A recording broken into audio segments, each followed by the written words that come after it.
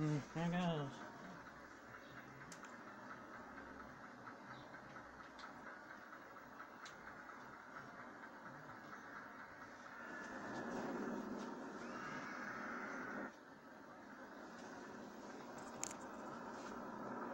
Mm, It is on a way,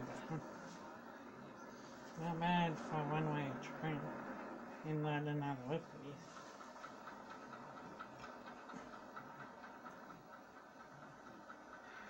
Even like wheel train, it? Except for those